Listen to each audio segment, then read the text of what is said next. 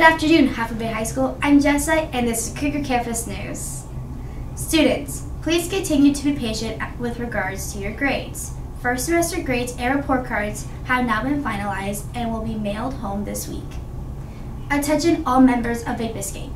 Please join us for our next meeting at lunch tomorrow in Mr. Olson's room K11.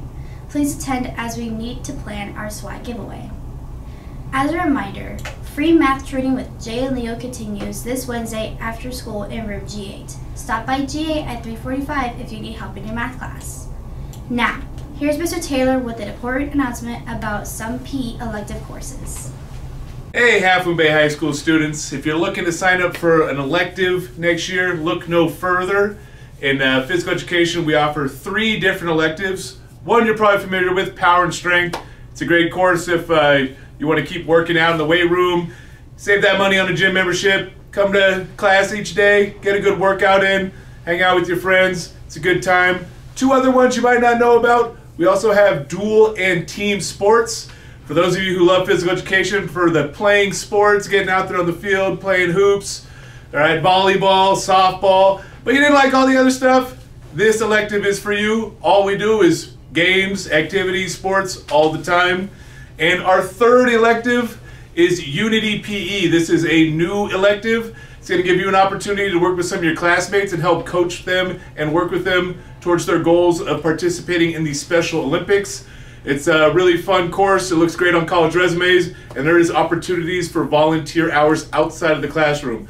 So if any of these electives sound like they'd be for you, we're going to be uh, meeting in the gym on Thursday, January 25th at lunch. That's Thursday, January 25th at lunch for your physical education electives.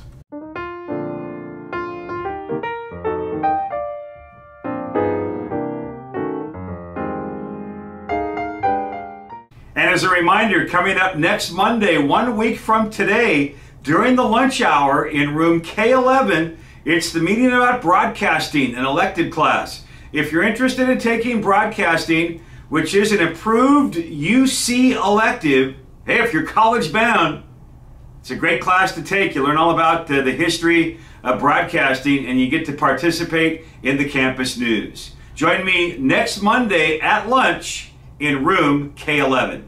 Hey Cougars!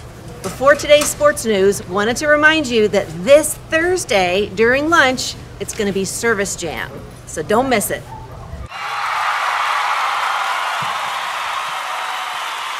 Behind stellar team defense, the boys varsity basketball team jumped on Jefferson early and never looked back, cruising to a 71 45 victory. Asher Meehan filled up the stat sheet again, finishing with 26 points, 10 rebounds, 4 assists, and 4 steals.